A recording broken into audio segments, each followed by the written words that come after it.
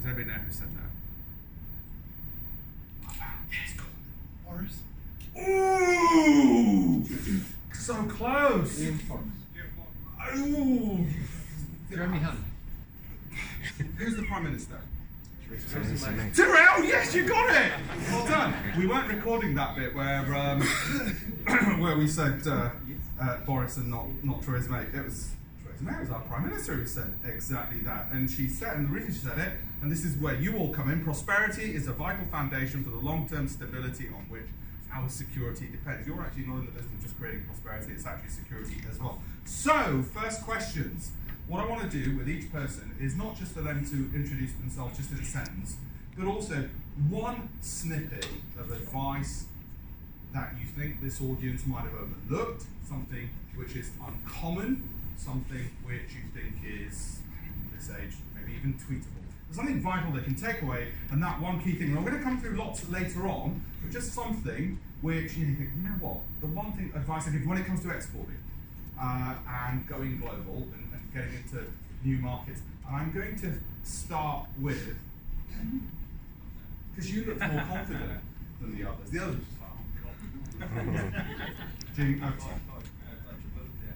So, uh, Jim Durian, country manager of UK and international markets. By title, who am I as a person? I would see myself as an optimist. That's why I think those socks looks awesome.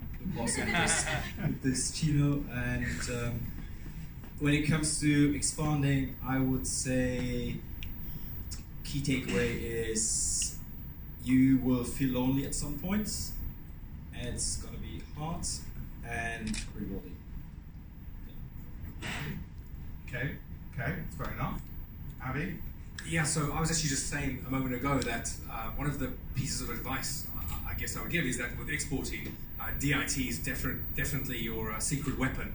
And uh, over the last uh, number of years, um, you know, I've used uh, the department actually to, to help deploy certain things in different countries. So, so to give you some examples, um, you know, we, we recently won uh, a, a deal with the Egyptian national team. They they didn't uh, win a World Cup since 1992, I think it was. And using genetics, which is only part of the picture, I have to say, we helped them actually prepare and go with them to the national uh, to the national World Cup as a national team. And but, but part of the process, working with government type organisations, sporting institutions, uh, and just companies abroad. Uh, in this case, obviously the, the Egyptian Football Association. Uh, it's very difficult to, to eventually uh, close. At least we, we found that, even though we had a great product, great technology, and so where, where you know we were able to leverage some of the resources from the department was, and, and this isn't commonly widely known, but you can actually uh, commission one report. So if you want to internationally trade, you can ask uh, DIT to produce a report called an OMIS report, I think that's called today, to help matchmake you. But more importantly, actually, you can use the uh, local embassy or consulate to actually uh, send out invitations uh, from Her Majesty's government to actually invite your target audience uh, to come in for a lunch or a session. And of course, you have to pay for that, um, but it's very worthwhile. So, in, in this particular example, you know, we, we were able to invite key influencers within the Egyptian Football Association, within the Olympic committees, and actually we went on as a result of that lunch to even win some business with uh, one of the Olympic associations for uh, modern day uh, pentathlon, which helped them get gold as well, of course, because of our technology. So, so really exciting. And so, so exporting is, is can be daunting. Different countries, different ecosystems, different things to do. But DIT definitely can help you navigate that. Formally through a process which is we learned OMIS, but also to actually facilitate key meetings and key interactions actually inside ambassadors' residence. Very important because you can flex your muscles. And that's a huge pull, of course, because you've got the Yeah, because crown insignia going out on an invite, you've got the ambassador's residence. Exactly, and you know, in, in most cases, um, you know, perhaps unless you're Derek, uh, you know, if you get if you get a, a letter from uh, Her Majesty's government, you, you, you might not uh, want to turn that down because it's quite important. Uh, so if you don't if you don't get them often enough, then you'll, you'll definitely go. So very useful. Hope that answers the question. How many people have used OMIS here? Wow. Okay, we've got one. Okay, well, I think there's going to be a lot that people can learn in this session. How many are exporting? Just a handful. Just a How many want to export? Well, we're going to convince the ones who don't think they want to the needs of why they should, which uh, fit comes very neatly onto you, Nicola. Tell us a bit about yourself and, and sort of the big, big piece of advice. Nicola Penfold. Um, my background is in the electronics industry, um, primarily um, military grade uh, component sales, uh, high end audio, wireless, way back. Um, and then I worked for various uh, manufacturing consultancies, um, have done a lot internationally. Uh, and then I had the opportunity to uh, work for the Department for International Trade as an international trade advisor. I'm private employed I have nine other members of my team covering all elements of uh, tech for London and the South East, and there are seven other such teams across England and those in the devolved regions as well. Um, and our job is to go out and help companies export, to help de-risk that process, to help you identify what can be exported and what can't, um, and to help you baseline where you currently are with regards to your aspirations and help you to adapt your product and service, to get yourself ready to export, to know where to go. Uh, and that's my job every day, is to sit in front of companies and have those conversations, and I absolutely love it. It's the most exciting thing to be able to be in a position to enable somebody to be successful. And, and how do they reach out to your team? All sorts of ways. Um, we will come along and speak at events like this. Um, a lot of the time, my client, my current clients, will refer others. Um, we will work with the likes of the Global Entrepreneurs Program because you don't work with the Global Entrepreneurs Program unless you're great, unless they can see something in you that sets you apart from many other companies that they have been dealing with. So I'm very happy to take that recommendation, if you like, and take the time to sit and talk to you about how we can help you expand and help you grow. So the one takeaway little thing that I would say, and it sounds obvious, but if it was really obvious, I wouldn't have to saying again and again and again every single day. The big thing about growing a business, particularly with exports, is the world's a very big place. It's very exciting. Your inbox is very busy. The, uh, your website should and will give you a lot of reach. So you must focus. You must have a plan and focus. And the number of times I work with companies who are completely scatterbrained because they're having fantastic opportunities coming in from Germany and US and China and Nigeria and Australia, and I'm going, oh, come on, there's three of you, you turn over £250,000. Focus. and you have to project yourself forward, see where you want to be, and understand where you want to be in 12 months, 24 months, five years. And then put a plan in that's going to get you there, and bring me along or my team along to help you do that.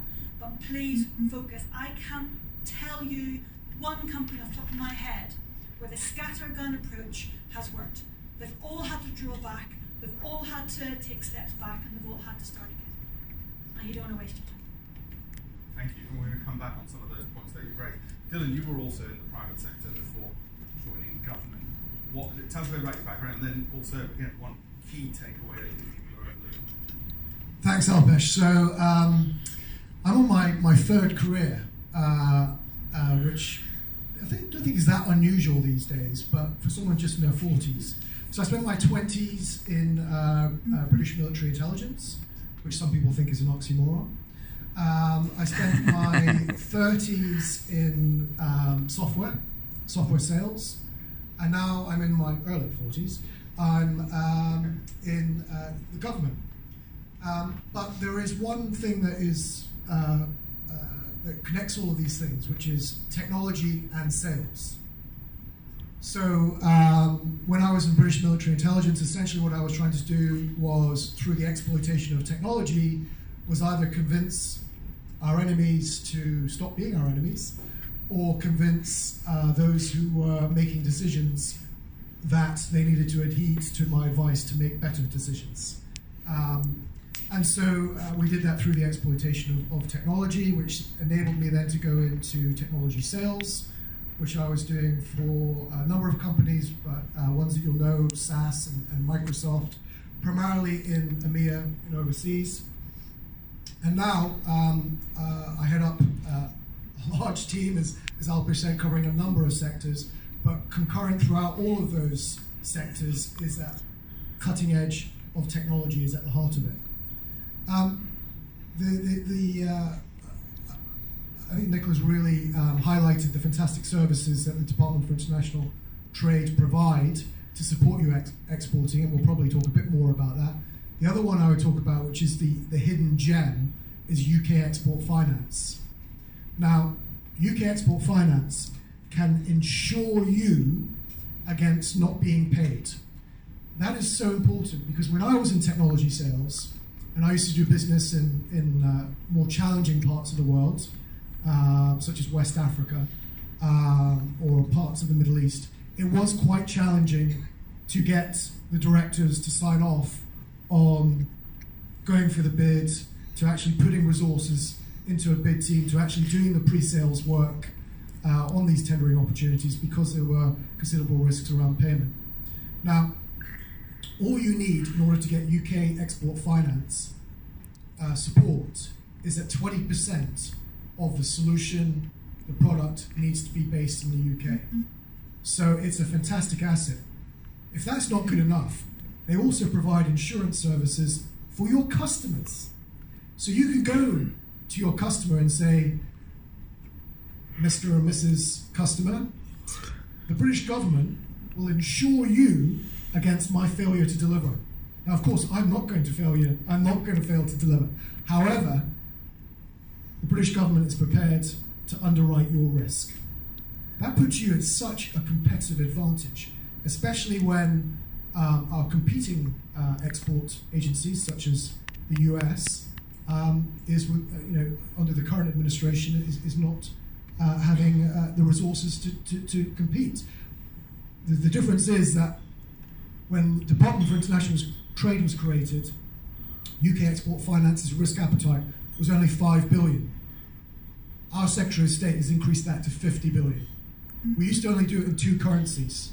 Now I think we do it in about a dozen currencies.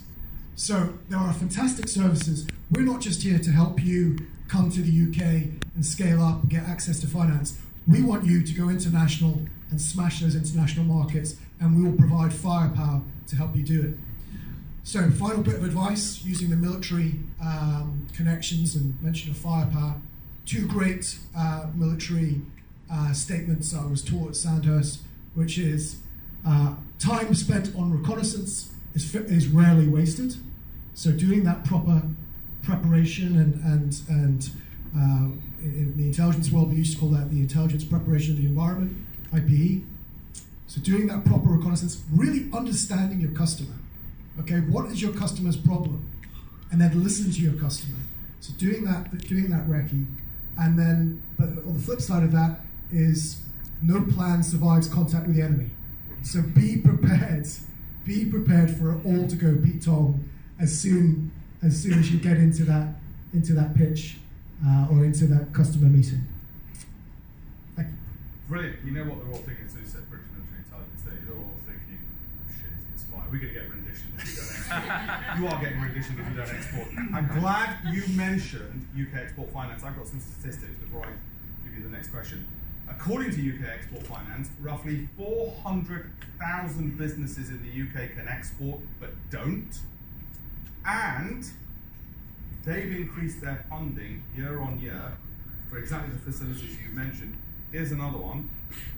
UK firms sold more overseas in 2018 and 2019, 639 billion pounds, that's 10 billion per every man, woman, and child in the country, than at any time since records began. And records began in the First World War. 639 billion in exports, and even better, even better, OEC data shows UK exports grew faster than Germany, France, and Italy between 2016 and 2018. In other words, if you're not exporting, your competitors are. That's for sure, and statistics prove it. So, in terms of the why, we'll come to the how, because we touched